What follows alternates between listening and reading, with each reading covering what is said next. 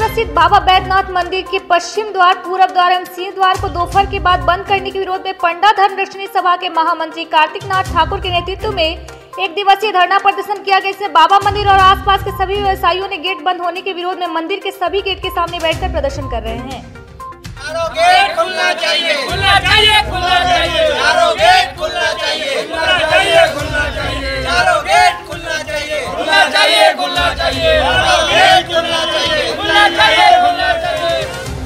कई बार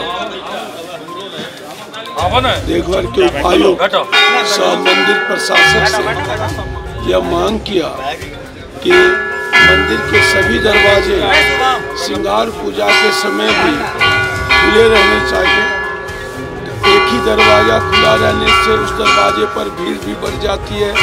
दूसरे यात्रियों को उस जगह काफ़ी घूम के जाना पड़ता है परेशानी होती है। का सामान भी मंदिर के भीतर ले आने में काफ़ी कठिनाई का सामना पड़, करना पड़ रहा है। हमारे सभी जजमानों को कष्ट हो रहा है।